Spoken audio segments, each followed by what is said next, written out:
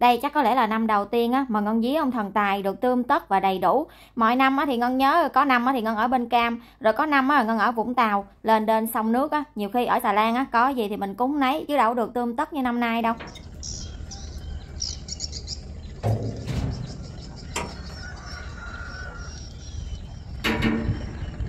Ngày hôm qua ngân ở dưới mỹ tho lên á là ngân mua một ít đồ cúng rồi nhưng mà chưa có đủ. Mẹ ngân á sáng đi chợ mua thêm ít đồ cúng nữa. Tại vì á năm nay hai chiếc đậu chung nè mua cái gì ta nói cũng combo hết á cho nên á là phải mua nhiều. Chứ mọi năm á thì ngân ở dưới xà lan có gì ngân cúng nấy à. Không biết mấy bà có tin giống ngân không nha. Bình thường mọi năm á có gì ngân cúng nấy. Ngân thấy làm ăn á thì nó cũng bình bình bình bình à.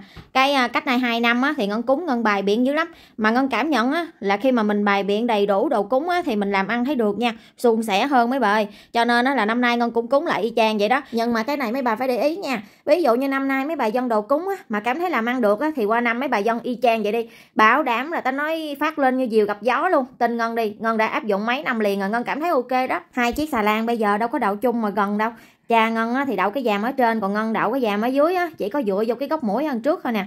Sáng á, thì mẹ ngân đi chợ rồi ngân chia đầu cúng làm hai á đem qua đây á sẵn á, ngân cắm bông cắm hoa rồi dọn đầu cúng sẵn cho mẹ luôn. Tại vì năm nay á dân đồ cúng nhiều cho nên là dọn từ sớm tới giờ mà vẫn chưa có xong nữa. Wow ngon quá. Cái đòi bán con hồi nãy năm con luôn mà. Có cái lắp trong bụng mẹ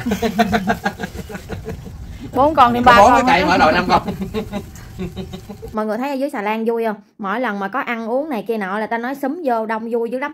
Mấy con cá lóc này là hồi sáng mẹ ngân mới đi chợ mẹ ngân mua về đó là nướng liền luôn á để kịp cho cúng giờ lành. À, bữa giờ mấy bà hỏi ngân á là cái giờ hoàng đạo là cái giờ nào? Mọi người lên lịch á mọi người xem cái giờ hoàng đạo ví dụ như mình hợp cái tuổi con gì á thì mình canh ngay cái giờ hoàng đạo con đó là mình cúng thôi. Giờ lành của hai xà lan ngân á là tầm khoảng ờ, 9 giờ sáng cho tới 11 giờ, cho nên là tranh thủ dọn đồ cúng. Bên mẹ là ngân đã qua phụ, ngân dọn xong hết trơn rồi đó. Dọn bên mẹ xong á thì ngân cũng tranh thủ về xà lan, ngân cũng dọn luôn cho nó kịp giờ lành. Nhưng mà được cái là cái trang thờ ông địa ngân nhỏ xíu à để tầm khoảng chừng hai dĩa là đầy mất tiêu rồi. Cho nên là anh hai ngân có chế thêm cho ngân cái mâm, cái thao ở phía bên ngoài nữa, mấy chất đủ hết ba cái đồ cúng nha. Nhưng mà không đâu, mấy bà còn để ở phía ngoài luôn nè. Ta nói bữa nay nguyên một mâm thịnh soạn nha. Ngày vía ông thần tài vào đầu năm mới nó quan trọng dữ lắm. Mấy bà không thể nào bỏ qua cái khúc này nha mấy bà chuẩn bị cho ngân cái tô nước ha, rồi bỏ cánh hoa vô trong đó, hoa mai hoặc là hoa vạn thọ cũng được, có gì bỏ nấy. Rồi tháo hết tất cả những cái nữ trang của của chồng nè, của vợ, bỏ vào trong đó hết luôn. Để mình lấy cái lọc của ông thần tiền, ông thần tài, rồi mình đeo vào trong người á, sẽ mang lại nhiều tài lộc cho gia chủ dữ lắm nghe. Không thể nào bỏ qua cái bước này nha mấy bà.